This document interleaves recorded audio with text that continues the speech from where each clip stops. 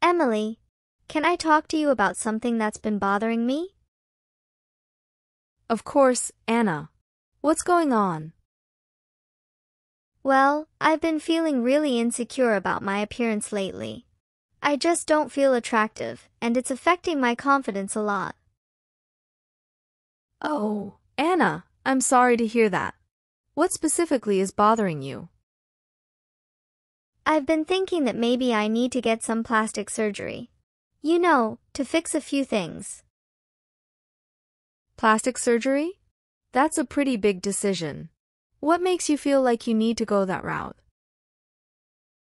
It's just, I look in the mirror and I see so many flaws.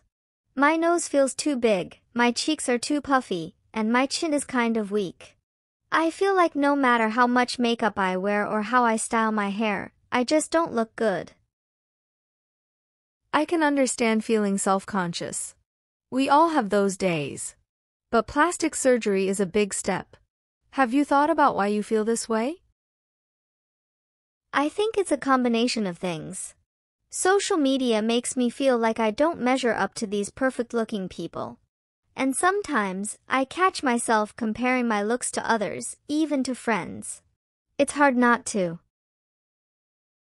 Social media can be so toxic that way. Remember, a lot of those images are heavily edited. They're not real life. But I get that it can be hard to ignore. Yeah, I know. But I just feel like if I could change a few things, I'd be happier and more confident. Have you talked to anyone else about this? Like a therapist or a counselor? Sometimes talking to a professional can help sort through these feelings. I haven't, but maybe I should. I just thought I'd bring it up with you first because you're my best friend and I trust your opinion. I'm really glad you did. I want you to be happy and confident, but I also want you to be sure you're making this decision for the right reasons. Sometimes, our insecurities can be worked through without drastic measures. You're right. I guess I just feel stuck right now. I want to feel better about myself, and surgery seems like a quick fix. Quick fixes aren't always the best solutions. How about we start with smaller steps? Maybe a new skincare routine, a different style, or even just focusing on things that make you feel good about yourself. And definitely consider talking to a professional about how you're feeling. Emily, I knew I could count on you to help me see things more clearly. Always, Anna. You're beautiful just the way you are, but if you ever decide that plastic surgery is something you want to explore further, just make sure it's for you and no one else. I'll support you no matter what. I really appreciate it. I'll think about what you said and maybe look into talking to someone about my feelings. There's actually more to it, Emily. Part of why I've been feeling so down is because of something my ideal boyfriend said. He told me I look ugly. What? Are you serious? That's incredibly hurtful, Anna. No one should ever say that to you. I know, but it really got to me. I thought he was perfect, you know? And hearing that from him just made me feel even worse about myself. Anna, that's awful. No one has the right to make you feel that way about yourself. If he can't see how beautiful you are, inside and out, then he's not worth your time. It's just hard, Emily. I really liked him, and I thought he liked me too. But now, all I can think about are the things I need to change to be more attractive. I get that. When someone you care about says something hurtful, it can really sting. But changing yourself for someone else, especially someone who would say something so mean, isn't the answer. I know you're right, but it's hard to shake off. I feel like if I fix the things he pointed out, I'll feel better and maybe even have a chance with him. Anna, anyone who makes you feel like you need to change yourself isn't worth having in your life. The right person will love you for who you are, flaws and all. I just wish I could see what you see. I look in the mirror and all I see are the things he criticized. It's tough to change that perspective, especially after a comment like that. But think about this. If you change yourself to meet someone else's standards, you might end up unhappy with the results and with yourself. I guess I hadn't thought of it that way. I just want to feel good about myself, and right now, I don't. Let's focus on building your confidence in healthy ways. How about we try some new things that make you feel good? A new workout class, a fun hobby, or even just pampering yourself. I've been so focused on the negative that I haven't thought about doing things that make me happy. And remember, talking to a therapist could really help. They can provide tools and strategies to boost your self-esteem and help you see yourself in a more positive light. I need to start thinking about my own happiness and not what some guy thinks. You deserve to be happy and confident just as you are. And if you ever do decide to go down the plastic surgery route, make sure it's for you and no one else. But Emily, I really love him. I can do anything for him. That's why I'm seriously considering plastic surgery. I think if I change my appearance, he'll see me differently and maybe even fall for me. Anna, I understand that you have strong feelings for him, but love should never make you feel like you have to change who you are. The right person will love you for you, not for some altered version of yourself.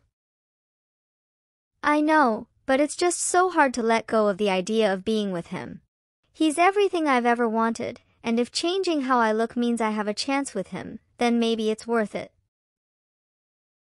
Love is about accepting and cherishing each other's true selves. If he truly cared for you, he wouldn't want you to change your appearance just to meet his standards. That's not love, Anna. But what if I do change and he finally notices me? What if that's what it takes for him to see me in a new light? If you change yourself for someone else, you might lose sight of who you really are. And even if he does notice you, it's not fair for you to have to alter your looks to gain his affection. You deserve someone who loves you just as you are. I guess I just don't know how to deal with these feelings. I want to be happy and confident, but right now, all I can think about is making him see me differently. It's completely normal to want to be noticed by someone you care about, but true confidence comes from within. No amount of surgery can replace genuine self-love and acceptance. So, what should I do? I don't want to give up on him, but I also don't want to feel this way forever. Take some time for yourself. Focus on activities and goals that make you happy and build your confidence. If he's the right person, he'll come around and appreciate you for who you are. If not, you'll still be happier and more self-assured. It's just hard to imagine moving on or feeling good about myself when I have these feelings for him. I know it's tough, but try to remember your worth isn't determined by his opinion or anyone else's. You have so much to offer just as you are. I really appreciate your support, Emily. It's just going to take some time for me to get past these feelings. And that's okay. Take all the time you need. Just promise me you'll focus on your own happiness and well-being first. I'll try to focus on myself for now, but it's just so hard to shake off these feelings for him. I really thought he was the one. Anna, I need you to hear me out. This guy is not worth you changing who you are. Wake up, my friend. You're incredible just as you are, and anyone who doesn't see that isn't worth your time or effort. But I love him, Emily. I can't just turn off my feelings. What if this is my only chance to be with him? If he can't love and appreciate you for who you are now, then he's not the right person for you. You deserve someone who sees your beauty and worth without you having to change a single thing. It's just so hard to let go. I really thought he was different, that he was special. But someone who makes you feel like you need to get plastic surgery to be attractive isn't special. That's manipulative and cruel. You deserve so much better than that. It's just hard to accept. I've been holding on to this idea of him for so long. I understand, but sometimes we need to let go of the wrong people to make room for the right ones. You're amazing, Anna, and you need someone who sees that without any changes. I guess I've been so focused on him that I've lost sight of what I really deserve. It's just hard to see clearly when you're so wrapped up in someone. But you need to put yourself first. Take a step back and think about what you really want and need in a partner. Someone who loves you unconditionally, who supports you, and who never makes you feel like you need to change to be loved. Emily, I need to wake up and see that I deserve better. It's just going to take some time to get over him. Take all the time you need. Just remember, you have people who love and support you just as you are. Focus on yourself and what makes you happy. The right person will come along when you least expect it. Emily, I needed to hear that. I'll try to focus on myself and not let his words affect me so much. You're strong, Anna, and you deserve to be happy and confident in your own skin. Let's plan that spa day and start working on boosting your confidence. You've got this. Emily, I really appreciate your support. I'll try to keep all this in mind and focus on what makes me happy. Anytime, Anna. We're in this together. Now, let's plan that spa day and make sure it's a day all about you and your happiness. That sounds perfect. Thank you, Emily.